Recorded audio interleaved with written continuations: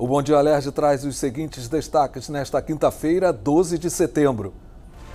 Centro de Memória dos Povos Originários e Tradicionais da Costa Verde tem nova exposição.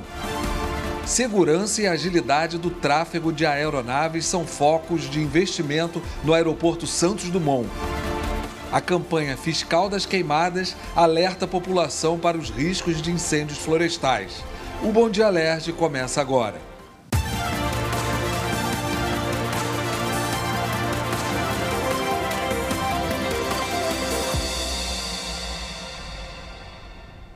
Bom dia. A cidade de Maricá, na região metropolitana, conta com uma das maiores farmácias vivas do país e em breve vai disponibilizar ervas para o uso em fitoterápicos da rede pública de saúde. A farmácia Viva fica na Fazenda Nossa Senhora do Amparo, no bairro do Caju. Ela pertence à Companhia de Desenvolvimento de Maricá e integra uma parceria da empresa com a Universidade Federal Rural do Rio de Janeiro. Nos seus 4 mil metros quadrados são cultivadas 30 espécies de plantas medicinais. A intenção é disponibilizar em breve o uso desses fitoterápicos para a rede pública de saúde erva cidreira, guaco, lavanda, camomila e outras espécies que são princípios ativos de medicamentos estarão disponíveis no SUS na forma de chás e pomadas. O projeto visa ainda capacitar pequenos produtores rurais para extrair óleos essenciais no laboratório da fazenda. O coordenador do projeto, o engenheiro agrônomo João Araújo, fala sobre as várias possibilidades futuras. A gente já tem realizado treinamento com os agentes de saúde, médicos, enfermeiros, técnicos, também médicos veterinários, porque nosso diferencial também vai atingir a parte de pets né, e de grandes animais. Então, esse PDI, para além dessas práticas integradas à Secretaria de Saúde, nós vamos também nuclear e desenvolver né, empre empreendedores né, e nuclear empresas com esse propósito, já que a produção de plantas medicinais é um nicho de mercado, né, onde todas essas plantas elas precisam ser cultivadas de forma orgânica para ter validação na indústria farmacêutica. Muito legal. O estado do Rio de Janeiro foi um dos primeiros a atingir a marca de um milhão de habitantes com a nova carteira de identidade nacional. O documento foi criado para reduzir fraudes, já que cada estado contava com uma numeração diferente. Eu vou chamar o repórter Paulo Vitor Viviane, que está com o diretor de identificação civil do Detran, Pedro Paulo Thompson, e vai tirar as dúvidas sobre a nova carteira. Bom dia, PV. Olá, bom dia Vicente, bom dia a todos que acompanham a TV Alerj. A carteira de identidade nacional começou a ser emitida no início de julho de forma escalonada, de acordo com a faixa etária da população, mas que hoje já está disponível para todo mundo. E para tirar algumas dúvidas em relação a essa nova carteira, nós vamos conversar com o Pedro Paulo Thompson, que é diretor de identificação civil do Detran. Bom dia, Pedro Paulo. Eu gostaria que você começasse falando o porquê dessa, da, o que motivou essa emissão da nova carteira de identidade. Bom dia. É, o que motivou essa nova identidade, assim, né, chamada assim, que é a Carteira de Identidade Nacional, foi o decreto 10977 do governo federal. E tem como objetivo eliminar as fraudes no país como um todo, tá? Isso é um grande fator em função que cada estado hoje teria uma identidade individual. Então, com isso, há uma unificação dessa base de dados, onde agora o novo número será o CPF. E no início essa campanha começou é, de acordo com a faixa etária da população, mas hoje já está disponível. É, como que faz esse agendamento? É preciso de agendamento? Quais os documentos que são necessários para a emissão dessa nova carteira? É, precisa fazer o agendamento, tá? Nos postos do Detran e nos postos conveniados, prefeituras e cartórios. Basicamente, precisa levar certidão de nascimento e casamento ou o CPF também. Tá, e tem nessa carteira de identidade nacional tem um QR Code também, que é uma questão de segurança também importante. Como é que funciona essa questão? É, isso é uma ferramenta de segurança. Né? Hoje qualquer banco, qualquer entidade trabalha com essa tecnologia. Isso é uma forma de garantir a segurança dessa, desse documento a nível nacional. É, hoje não é obrigatório ainda essa carteira de identidade nacional. A partir de que momento ela se torna obrigatória? Pode conciliar a carteira de identidade nova com a antiga, com a carteira de habilitação também? Sim, você pode, na realidade, as carteiras válidas ainda estaduais, elas estão válidas até 2032. A partir daí, elas vão ser, ser substituídas obrigatoriamente pela SIM, a nova identidade, cujo o número é o CPF.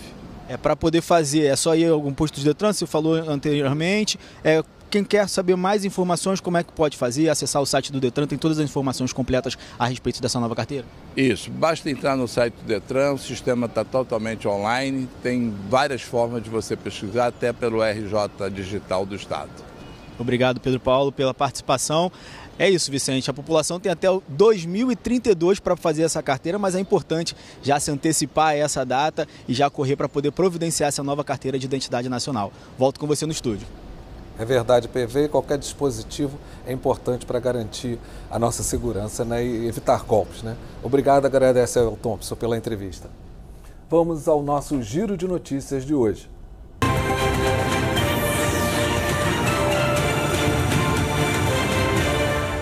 Dos 400 milhões de reais anunciados pelo governo federal para melhorias no aeroporto Santos Dumont a serem repassados até 2027, uma grande parte será destinada ao aumento da segurança e agilidade do tráfego de aeronaves no solo.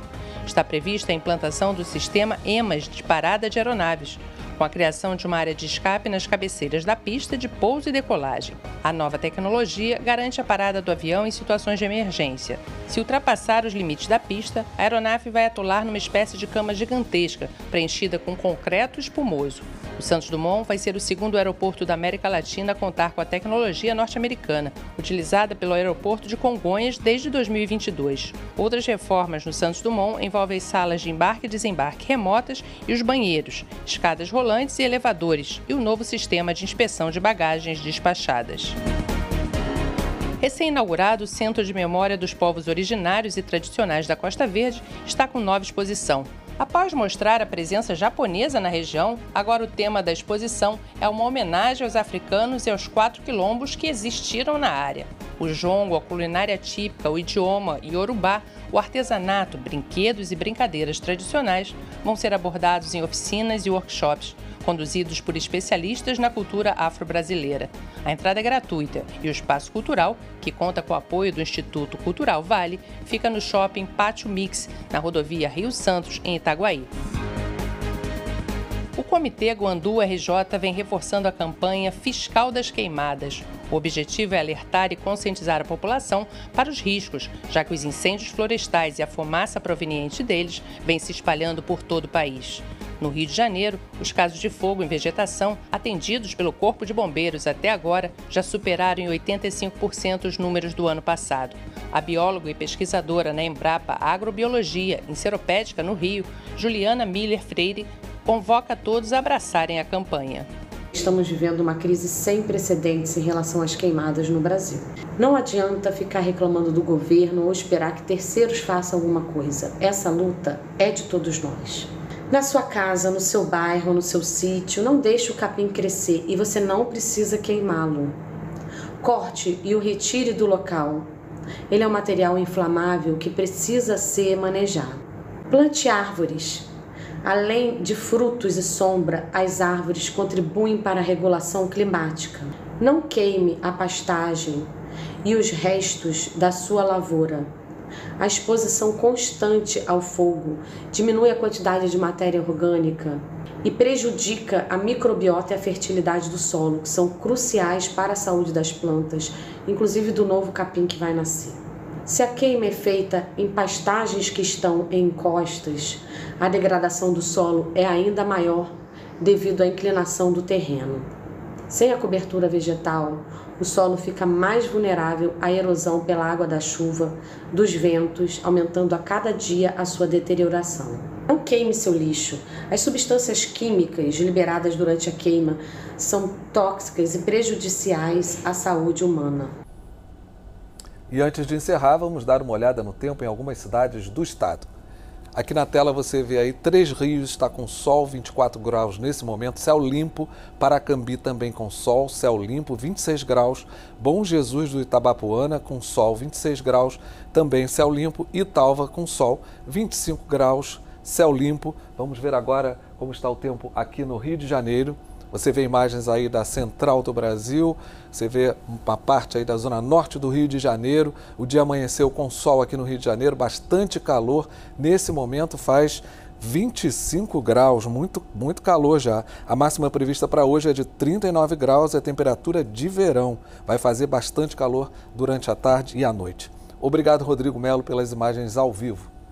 O Bom Dia Alerj termina aqui. Se você quiser enviar sugestões ou vídeos aí da sua cidade, é só acessar nosso e-mail tvalerj.alerj.rj.gov.br. Um ótimo dia para você e até amanhã.